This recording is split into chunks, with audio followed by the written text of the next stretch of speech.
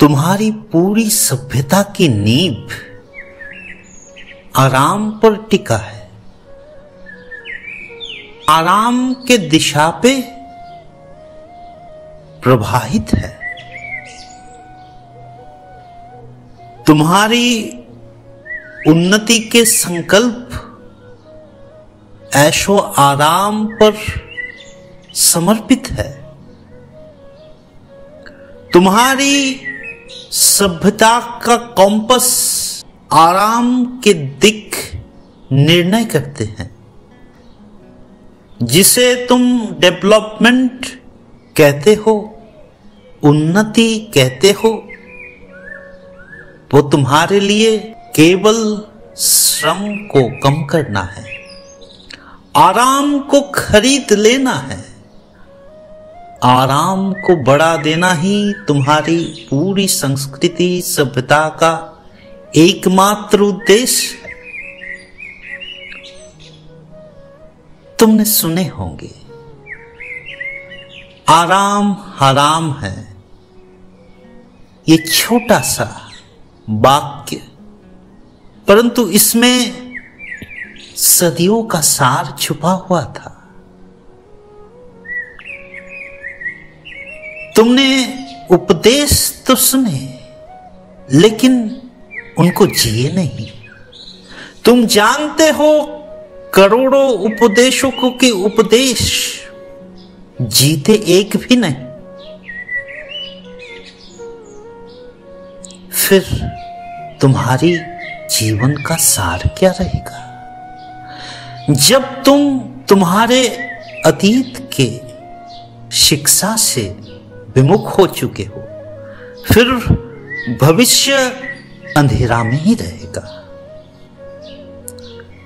आराम हराम है, ये जानकर भी तुम्हारा पूरा सभ्यता आराम के ही दिशा पर भागती है, और इसे ही तुम डेवलपमेंट कहते हो। ये प्रकृति को विनष्ट कर कर बड़े बड़े इमारतें इनमें लगाया हुआ संगमरमर की प्रस्तरे, इनकी दीवारों में किया गया पेंटिंग के लिए कटी गई वृक्ष की आँसू तुम्हें दिखाई नहीं देता।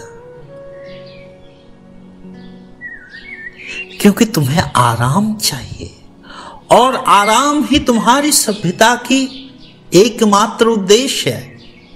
तुम्हारा मेडिकल साइंस तुम्हारा टेक्नोलॉजी तुम्हारा विज्ञान, तुम्हारा धर्म, तुम्हारा दर्शन सिर्फ़ आराम देने के नाम पर तुम्हें और आगे बढ़ा रहा है।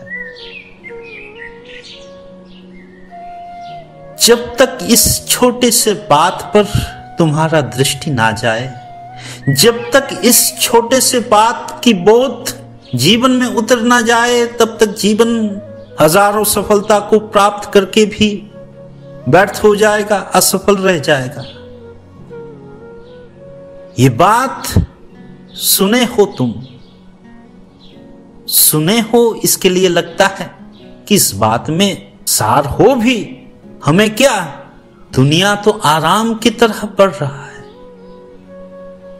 ये तुम्हारे मनोविज्ञान में घुस गया है कि आराम के बिना ज़िंदगी का कोई अस्तित्व ही नहीं है, जबकि सत्य तो बिल्कुल विपरीत है। जहाँ पर आराम है, वहाँ पर जीवन नहीं रहेगा। जहाँ पर श्रम नहीं है, वहाँ सृजन नहीं हो सकता। वहाँ क्रिएशन नहीं हो सकता और पूरा सृष्टि क्रिएशन की सहयोगिता करता है। सृष्टि की सहयोगिता करता है। तुम सृष्टि से विमुख हो जाओगे तो फिर तुम जीवन से, तुम जगत से विमुख हो जाओगे।